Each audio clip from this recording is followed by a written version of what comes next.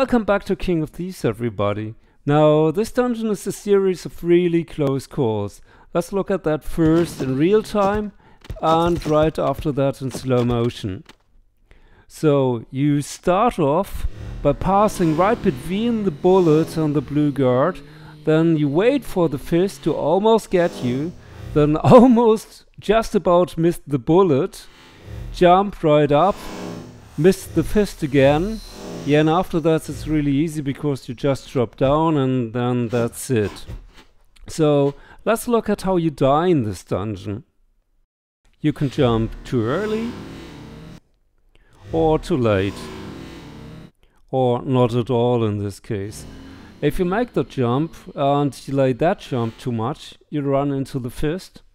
Then if you jump too early, you'll hit the bullet. You can mess up the next jump or if you make it and don't slide down, then that's bad news too. So the easiest way is really to slide down, jump right back and then you've done it. So here's the solution again, hope you liked this video. If you did, please leave a like, maybe subscribe for more videos like this and see you again next time. Bye!